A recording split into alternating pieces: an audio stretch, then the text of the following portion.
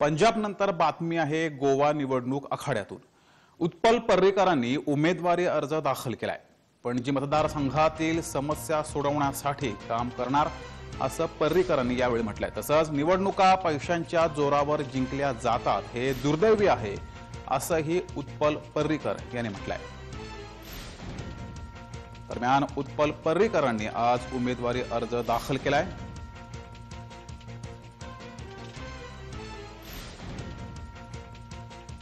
पणजी मतदारसंघातून त्यांनी हा उमेदवारी अर्ज दाखल केलाय. तसेच पणजीतील समस्या सोडवण्यासाठी काम करेल असं त्यांनी म्हटलंय. सोबतच निवडणुका पैशांच्या जोरावर जिंकल्या जातात हे दुर्दैवी असल्याचंही त्यांनी म्हटलंय.